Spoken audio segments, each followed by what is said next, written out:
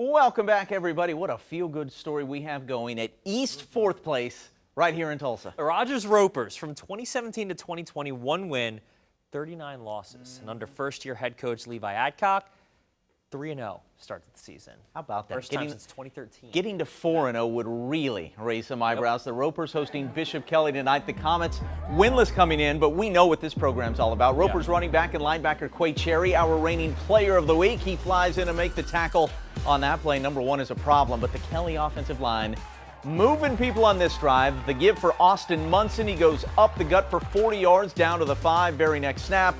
Let's let the man finish what he started. Munson on the Wildcat. Easy score. Ring those cowbells. It is 7 0 Comets.